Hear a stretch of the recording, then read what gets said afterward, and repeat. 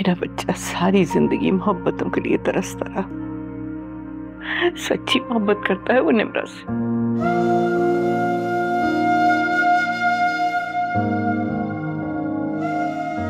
उसकी आँखों में खुशी की चमक और इंतज़ार होगा।